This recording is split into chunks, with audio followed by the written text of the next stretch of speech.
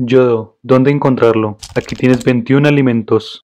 Almendra, arándanos, brócoli, cebolla, cereza, espinaca, fresa, huevo, leche, lechuga, manzana, ostras, papas, plátano, pollo, queso cheddar, salmón, tofu, tomate, yogur, zanahoria.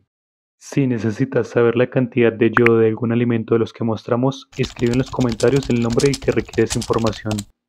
Recuerda suscribirte a nuestro canal para que no te pierdas información valiosa como esta y compartir nuestro video para transmitir este gran conocimiento a todo el mundo.